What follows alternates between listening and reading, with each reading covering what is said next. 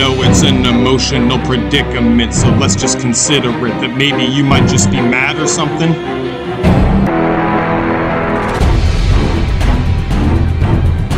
What a bunch of crap, just cut the fucking chitter chatter. Ladies up and at 'em, mount up on your battle bunker saddles. Let's see cataphracts and something like a ladder back, a black jacket. Bring up on the back and come on attack and bomb 'em back along the motor track and back of Vietnam and rearm Viet Cong with a Kalashnikov critically efficient Killanova. Will it bring upon supposed red on armor a bladed farmer? Charmer and alarming? You better be hard on guard of a Sarmatian creation, a trump card. You might even be mistaken if a half-baked abbreviation, but it's expected. You must elect to be addressing it when hexing to send us invocation for the blessing of a station. See, I see, I gotta be, of course it's me. Yeah, sort of fit this whole distortedly quarter reported, sorted abortion about the same frame of proportions. I even courted, contorted, and purported enjoyment of mine, abhorrently worn to the core. It's more than just mortifying or boring.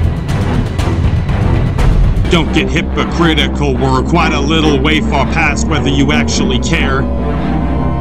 Are you prepared? I really hope you're fucking scared. Yes, it means you're actually aware. It's terrifying when denying isn't something you can hide behind. Not even buying time. I hope you heard at least a couple words that might have sounded more absurd unless you heard it from a journal of mine. You can return it externally, burn it for eternity. How concerned are we? I'm the internal, infernal chemical kernel regimented to inspect this whole collection of precious heavy metals. Just drop the pedals and dig right into it. It's inconsiderate from where I sit, but that's hardly a fact. Don't even tack that on the board. Just cut the cord. We'll shut the door and pour a lot of horrifying. Even more of them are dying in a torrent of chlorinated chemicals. No, it's getting nebulous. So let's be generous with the whole regimen and over exceed the need for any petty penny properly documented, a clocked up profit projected benefits that might have given some fucking credit to any of this. Protect him with some Benadryl Medical Intercontinental Center for Adventure to go find me a new kind of disease, whatever the fuck I please. Mutable might be indisputably incomputable to you and the two of your crew. Still chewing through the cables and jacking it under the table.